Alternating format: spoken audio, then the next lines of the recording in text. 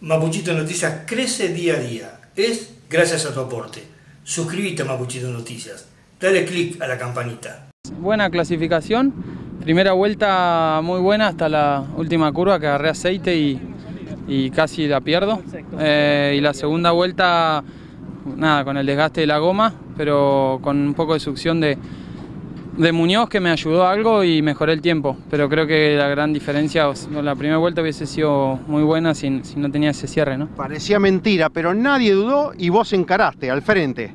Sí, sí, sí, porque bueno, nada, me, me, resulta más seguro, ¿no? Y en esta situación es difícil pensar en, en pelear por, por la pole con 60 kilos y sí siento que tenemos que asegurar una buena vuelta y estar ahí adelante. En la sensación del piloto, ¿estás conforme Manu pensando en lo de mañana y en todo el balance del sábado? Sí, muy bien, muy bien, conforme con el auto, gran equilibrio. Felicitaciones. Gracias.